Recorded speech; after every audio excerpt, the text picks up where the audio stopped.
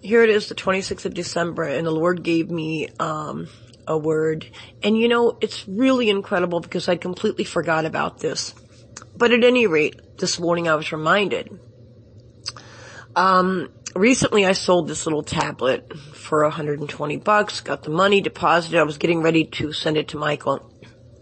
And I went to the bus stop and there's a couple sitting there. They asked to use my phone and I let them use the phone. They were asking for money, somebody on the other line for something and they were shot down. And of course compassion kicked up and I was like, man, you can't say no to a hungry person. This couple's older. So, I mean, come on, I feed the homeless better than I eat. Don't play. They, they eat things that I wish I could, would, would afford to buy for myself, but that's the truth. So at any rate, I said, are you guys hungry? And they go, yeah, yeah. So we went into Jack in the Box and their order came to $46 for two people. I told the people, I said, this money is supposed to go to Cambodia. I said, but, you know, I'm sure Mike will understand feeding somebody who's hungry. No big deal. And I said, plus my conscience is clear. It's not for me.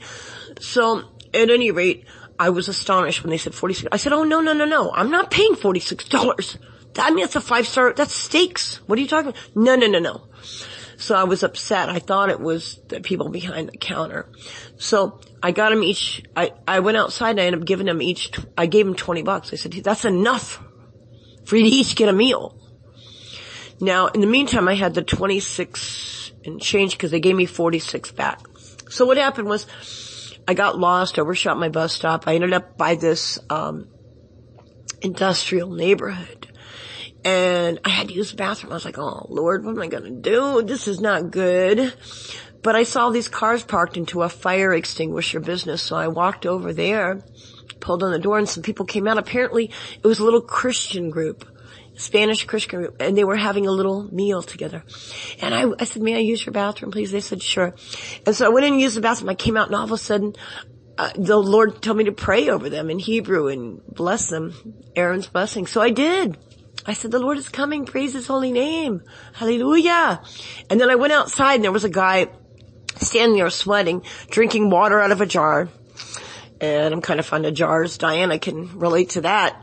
So at any rate, um, apparently he had lost somebody in an accident. He was just weary trying to feed his family. So I had that left over that they had given me back. So I just handed it to him. I said, here's $25. I said, I said 25 is agape. It is the pure love of God. That's what it means. And he started crying. So, at any rate, later on I wired my, Michael the rest. But here's the thing. Today, the Lord led me to Rainbow's video about Malachi, the false prophets.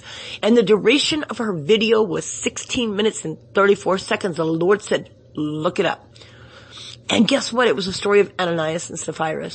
And then immediately I was reminded, you know what that couple did? They called me the very next day asking me, hey, we want to meet with you. And I was like, guys, I have nothing left. I mean, everything I have, I, I've committed overseas.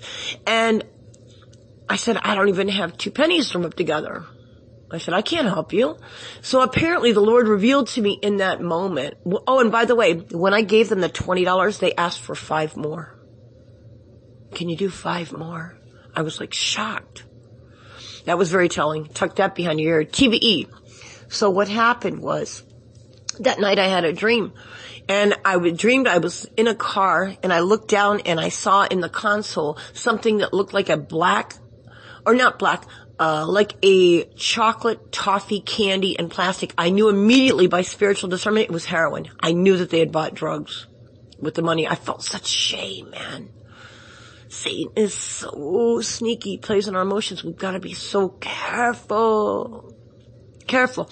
Lord says, when you go someplace, greet no one. And I'll tell you what, I adhere to that now. Because they just accost me. It's like somehow, I don't know, they suck any, ca- if I ever have cash, they'll suck it out of my pocket. And I don't know how they do it. And it always is revealed later, you got conned. You got conned. You got conned. Uh, you didn't ask me first, and that's the whole key. We gotta pray first. So, it, I, I don't know what it is, but I'm telling you, these demons have a seducing spirit, and they are professionals. at sucking the resources out of the children of God. You understand? So, what happened was, uh, when they had called me the next day and they asked for, I realized the Lord gave me spiritual discernment. He said, they use the money for drugs. And this is their hustle. They go to the bus stop because nobody, everybody knows they can't run with their phone. You can go catch them. They're not going to get away with it. So of course they're going to see us. So what I did was I called back the number that they had called me from. I said, don't give those people anything. They, this is their hustle. And so I told them, I said, don't. They said, we've been wanting to do something good and I got to witness to them. And I sent them some Christian videos. So it worked out. See, we thwarted Satan's plans and used it against him. And I ended up getting to witness to that couple. It was wonderful. See? The kingdom of heaven suffers violence. Violence. Children of God, but that's all going to change. But we've got to be wise as serpent, gentle as a dove, turn it around. And so that's what happened. And uh, here they were using me, and I made a video about it. You know, I said these poor people, blah blah blah, and then Jack in the Box wouldn't give them their food, and they overcharged. It turned out to be they were hustlers. They absolutely knew what they were doing. So, guys, I don't know what to say, but I was reminded I completely forgot about that couple at the bus stop until just now reading the story of Ananias and Sapphira.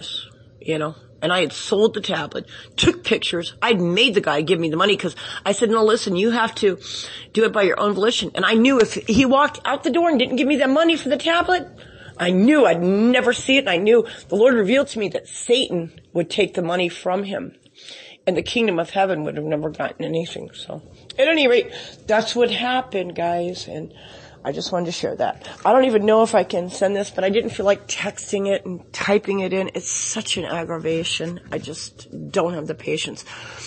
But, uh, Lord is coming. Thank the Lord. I tell you, I'm so weary. It's like, it's, it's unbelievable. You know, it's unbelievable. But praise his holy name. I was reminded of that story and how Satan immediately accosted me. You know, they purposely ran up the Bill knowing that the cash would be given back. They knew.